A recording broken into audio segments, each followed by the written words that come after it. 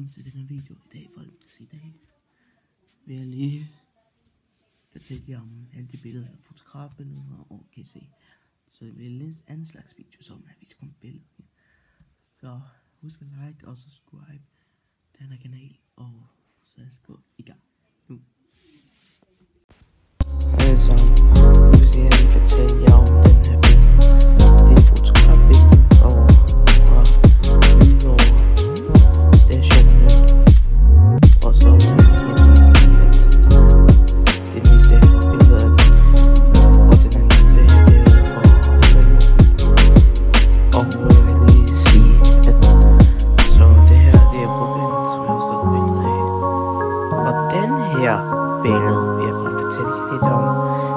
Altså altså, det er den der sne, altså fra en dyrspor. Altså her, det, den er bare fuld af altså sådan noget. Ja, som man tror nok. Og den anden kommer her. Og det er også en fugl, som I kan se her.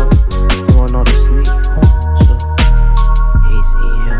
Og så ja, det man her se. Men det man kan se, at Se, det her en anden en. Det er det med bil. Der er en bil derovre. Det kan man se her. Der er en bilspor her.